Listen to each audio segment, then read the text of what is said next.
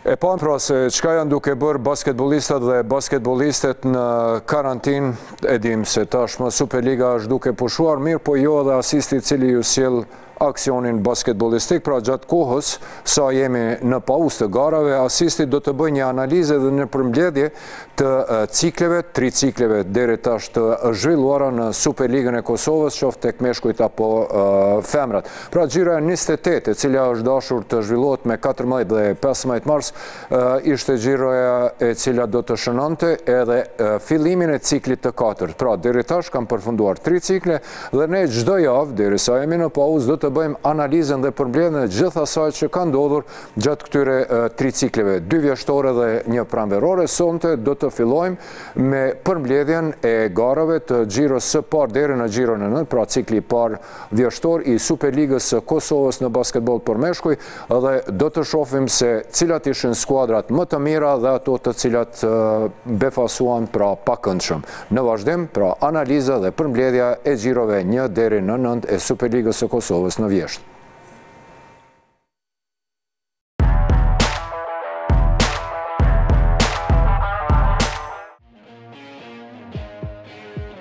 Pas revolucionit të basketbollit në Art Motion në vitin 2018, pakkush kishte besuar se ky sport në vendin tonë për një kohë shumë të shkurtër do të rikthehet aty edhe ku e ka vendin.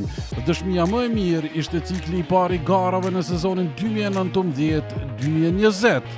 Në fakt, në verën e vitit të kaluar, disa nga skuadrat e elitës, përpos që bënë ndryshime në përbërje, ndryshuan edhe trajnerët. Kështu Sigal Prishtina emëroi trajner Bujar Locin, më meritorin për sukseset e Rahovecit një edicion më herët, ndërsa vreshtarët emëruan trajner Neven Plantakun, që kishte njohuri për basketbollin kosovar, pasi kishte drejtuar më herët Trepçën, me të cilën ishte shpallur kampion në vitin 2011, ndërsa Bashkimi emëroi trajner Ilmen Bajrën, i cili erdhi nga roli i ndihmëstrajnerit tek Sigal Prishtina. Peja e rikthyer në Superligë u desh shpejt të mobilizohet duke angazhuar trajnerin Jeronimo Sharin, i cili në Karagaç u transferua pas avanturës tek Bashkimi, Ndërsa skuadrat tjera si Golden Eagle Ylli, Ponte Prizreni, Trepça, Feronikeli apo Lipjani filluan sezonin 2019-2020 me të njëjtit trajnerë që i patën edhe një sezon më herët. Në derbin e parë të sezonit të ri të garave ndërmjet Rahovecit dhe Sigal Prishtinës, fitore arriti skuadra nga Mizair Isma me rezultat 74-61. Dhe ky ballafaqim ishte vetëm sinjali i parë i një prej sezoneve më të bukura në basketbollin kosovar në dekadën e fundit. Kreator të kësaj fitoreje të Rahovecit ishin Jure Gunjina, i cili ndeshjen e përfundoi me double-double, 24 pikë, 12 kërcime dhe Arian Çallaku kontribuoi me 11 pikë të tjera e kërceu 4 herë. Në ndeshjet tjera të xhiros së parë, Peja e rikthyer në Superligë mposhti Ponte Prizrenin në udhëtim me rezultat 70-78, ndërsa duel tepër interesant i xhiros së parë ishte ai i zhvilluar në 13 qershorit të Therandës ndërmjet Golden Eagle Yllit dhe skuadrës debutuese në Superligë Feronikelit, që në fund i takoi therandasve me rezultat 103 me 90. Fitore në xhiron e parë arriti edhe Bashkimi që mposhti në Sezai Surroi Lipjanin me rezultat 107-57. Në xhiron e dytë të ciklit të parë, ndeshja kryesore u zhvillua në Mitrovicë ndërmjet rivalëve të vjetër Trepçës dhe Bashkimit, ku pas një drame të vërtetë fitore shënuan mysafirët me rezultat 74-85.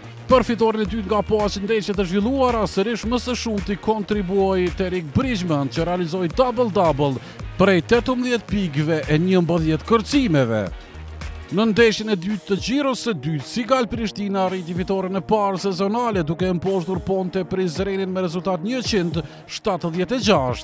Pas Bashkimit, edhe Golden Eagle Ylli shënoi fitoren e dytë rresht nga dy xhiro të zhvilluara. Therandasit kësaj radhe mposhtën Lipjanin me rezultat 88-115. Në këtë duel, kapiteni therandas Egzon Kuqi ishte fantastik duke shënuar 7 treshe nga po aq tentime. Pas kësaj performanse, Egzoni është futur në historitë e basketbollit kosovar dhe ndan vendin e dytë për këtë statistikë me ish-fundorin e Trepçës Marko Zhorxhin, ndërsa rekordmen i shënimeve për tre pikë pa huqje në një ndeshje, Mbetet ish-fundori i skuadrës së dikurshme elitare Mabetexit, kroati Vladimir Anzuloviq, që kishte realizuar tetë treshe nga tetë tentime. Ndeshja e fundit e xhiros së dytë ndërmjet Feronikelit dhe Rahovecit ishte shtyrë për më vonë, pasi rahovecianët ishin të angazhuar në garat ndërkombëtare.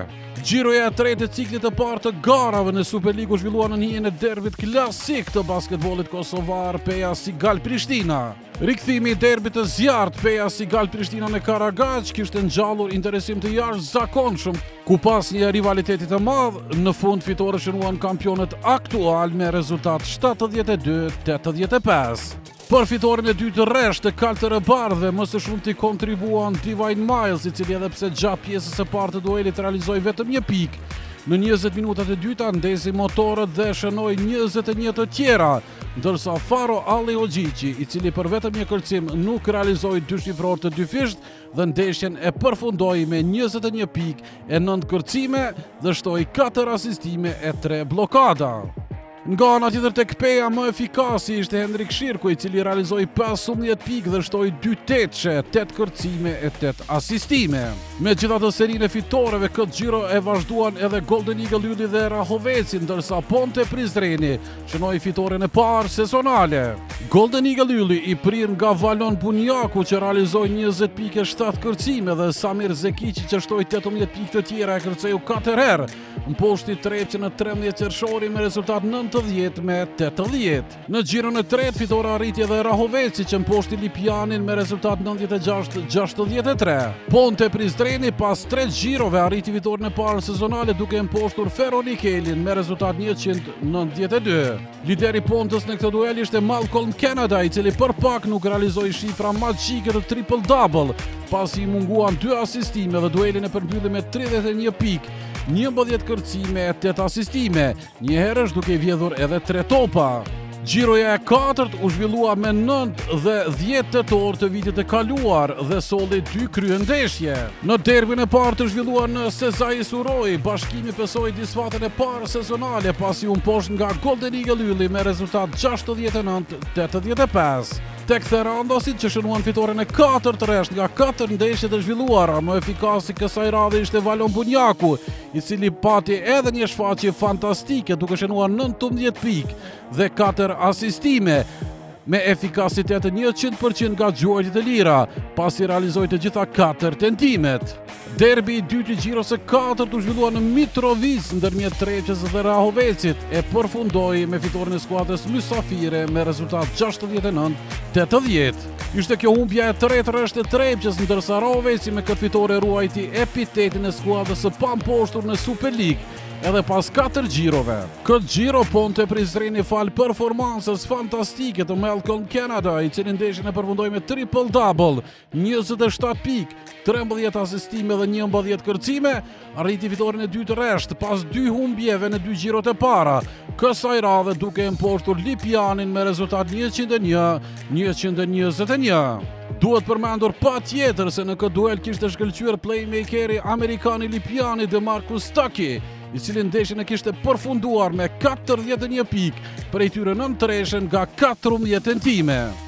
U parashikua si një ndeshje e zakonshme kampionale, mirëpo Feronikeli Peja doli të ishte përballja me finishin më dramatik në sezonin e ri 2019-2020 dhe në fund falë përkëdheljes së fatit, Pejanët arritën fitoren në sekundat e fundit me rezultat 95-89, duke u rikthyer tek fitorja pas humbjes në xhiron paraprake në superderbin nga Sigal Prishtina.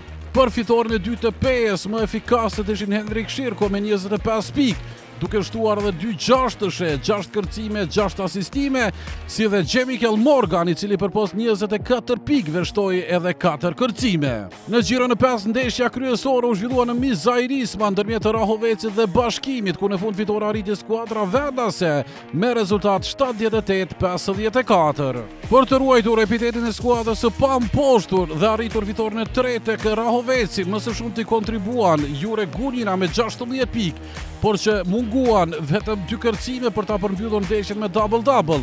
pasi kërceu 8 herë dhe asistoi në 4 raste për bashkëlojtarët. Në xhiron e 5, duel tepër interesant ishte edhe ai i zhvilluar në Prizren ndërmjet Pontes dhe Trepçës, ku në fund fitore kishin arritur vendasit me rezultat 88-78.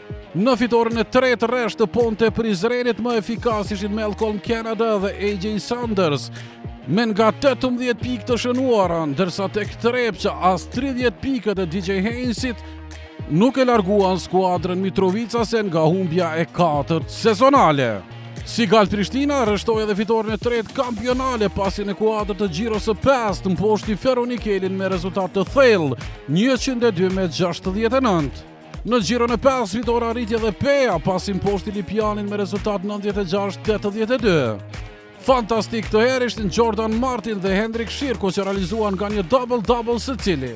Martin luajti me 20 pikë e 10 kërcime, ndërsa Shirko përpos 18 pikëve dhe 12 kërcimeve, shtoi edhe 2 peshe, 5 asistime e 5 topa të vjedhur. Nga ky takim duhet veçuar fundorin amerikan, Demarcus Stuckey, i cili ndeshjen e përfundoi me 38 pikë të realizuara, prej tyre 6 treshe, të gjitha në pjesën e parë të ndeshjes, ndërsa shtoi edhe 5 asistime.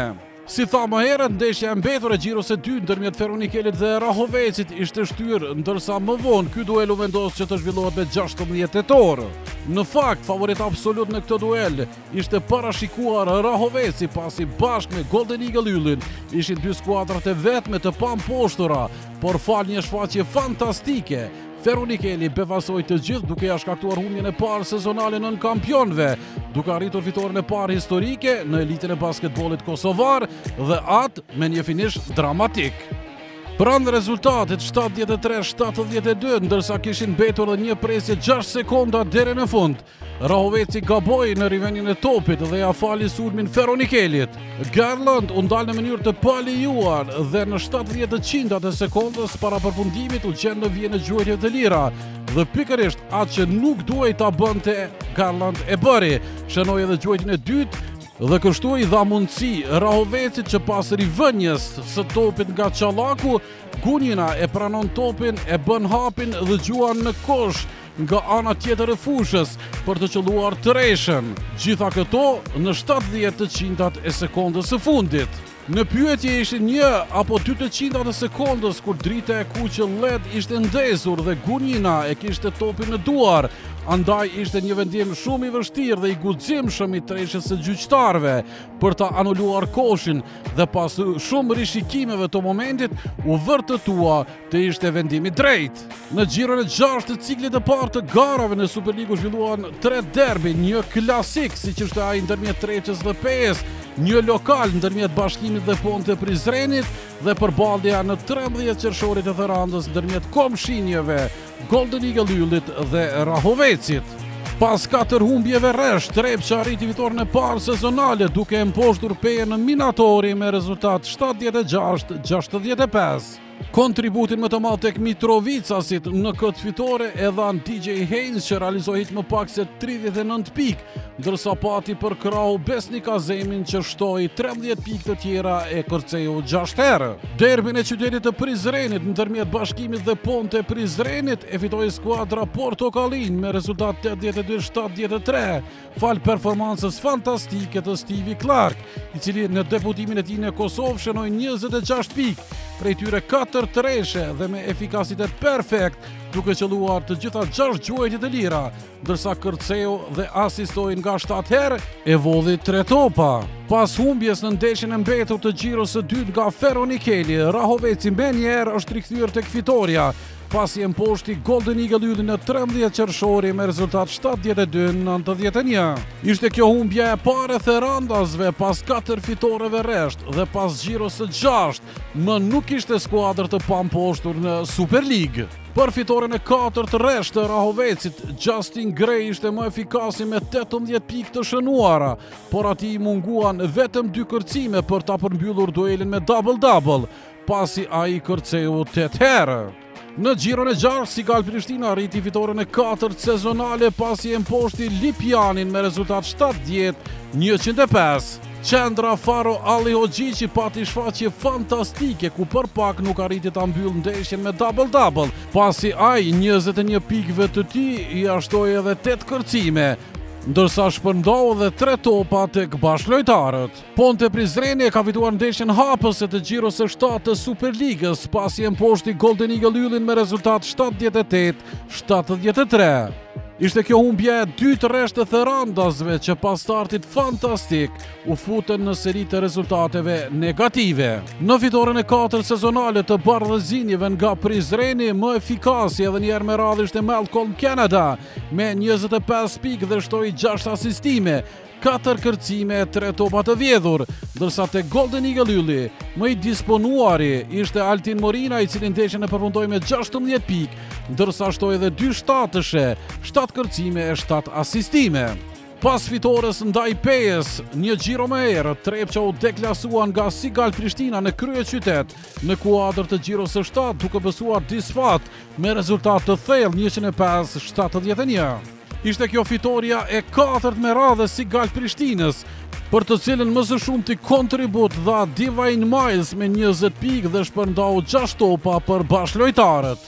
Derbi tjetër klasik ndërmjet Pejës dhe Bashkimit që u zhvillua në Karagaç, ishte po ashtu një nga përballjet më interesante të xhiros së 7.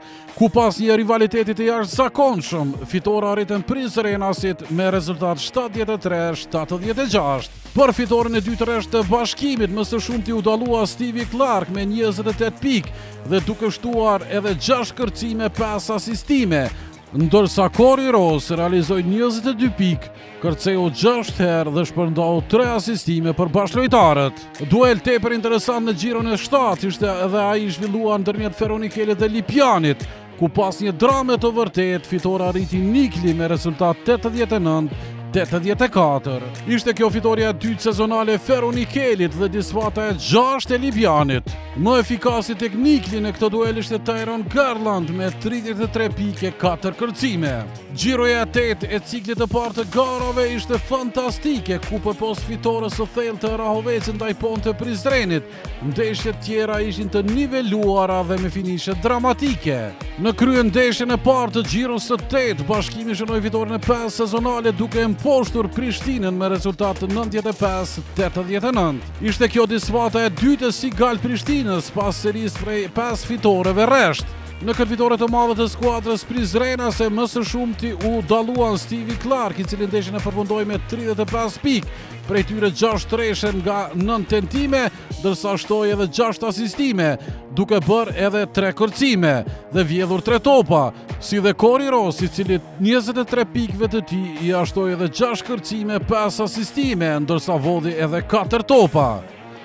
Nga ana tjetër tek Sigal Prishtina, më së shumti në këtë duel u dallua Divine Miles, i cili ndeshjen e përfundoi me double-double prej 23 pikëve e 10 kërcimeve.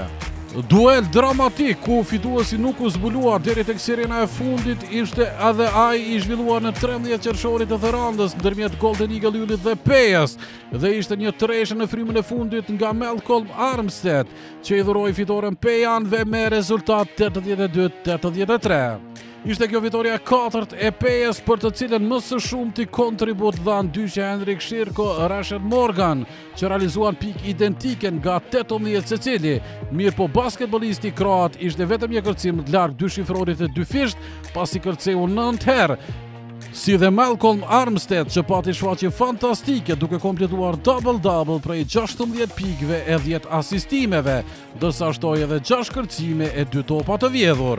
Në xhiron e 8, Feronikeli befasoi Trepçën në Minatori duke e mposhtur me rezultat të ngushtë 95-97. Ishte kjo fitorja e 3 sezonale e Niklit, ndërsa për Trepçën disfata e 5. Më efikasët tek Nikli ishin kapiteni Arti Hajdari me tridhjetë pikë të realizuara, teksa kishte shtuar edhe pesë kërcime, katër asistime, si dhe Tyrone Garland, që realizoi njëzet e katër pikë e shpërndau nëntë topa për bashkëlojtarët. Në një ambient fantastik në Mizair Isma, Rahoveci e ka fituar duelin e fundit të xhiros së tetë ndaj Ponte Prizrenit me rezultat 90-75. Më efikasët në fitoren e 6 sezonale të Rahovecit ishin Alban Veseli me 20 pikë, prej të cilave 4 treshe nga njëmbëdhjetë tentime, ndërsa shtoi edhe 7 kërcime.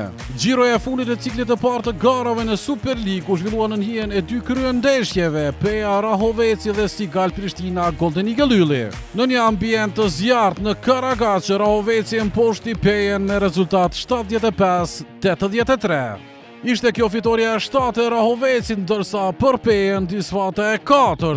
Më efikasët tek vreshtarët në këtë fitore të madhe ishin dyshja Chris Bradford dhe James Howard, që realizuan nga 16 pikë secili. Në derbin e dytë të xhiros së nëntë, Sigal Prishtina e ka mposhtur, Golden Eagle Yllin me rezultat 92-84, duke arritur fitoren e 6 sezonale, ndërsa për therandasit, ishte humbja e tretë. Kontributin më të madh në këtë fitore të Sigal Prishtinës, e dhanë Faro Alihoxhiqi me 29 pikë e 7 kërcime, dhe Divine Miles, i cili ndeshjen e përfundoi me double-double, 20 pikë e 10 kërcime. Ciklin e parë të garave me fitore e mbylli edhe Trepça pasi e mposhti Lipjanin me rezultat 91-100. Besnik Azemi pati shfaqje fantastike duke e përmbyllur duelin me dyshifror të dyfishtë, 31 pikë e 10 kërcime, ndërsa shifër të njëjtë të pikëve realizoi edhe DJ Haynes, i cili shtoi edhe 7 kërcime e 6 asistime. Ishte kjo vetëm fitorja e dytë në këtë cikël e Trepçës, ndërsa humbja e tetë e Lipjanit nga po aq ndeshje të zhvilluara. Bashkimi i udhëhequr nga Ilmen Bajra e ka mbyllur ciklin e parë të garave me fitore pasi mposhti Feronikelin me rezultat 83-106, ndërsa skuadra nga Drenasi pas 8 ndeshjeve kishte bilanc prej 3 fitoreve dhe 5 humbjeve. Në triumfin e gjashtë sezonal të portokallinjve, më së shumti la gjurmë Stevie Clark, duke shënuar 38 pikë prej tyre tetë treshe, ndërsa shtoi edhe dy pesëshe të kërcimeve dhe asistimeve, si dhe Kori Rose që realizoi double-double prej 27 pikëve e 13 kërcimeve, duke shtuar edhe 6 asistime e 3 topa të vjedhur. Pas ciklit të parë të garave, Rahoveci kryesoi renditjen tabelare me 7 fitore dhe një humbje, ndërsa në pozitat 2 dhe 3 u pozicionuan Bashkimi me 6 fitore 2 humbje,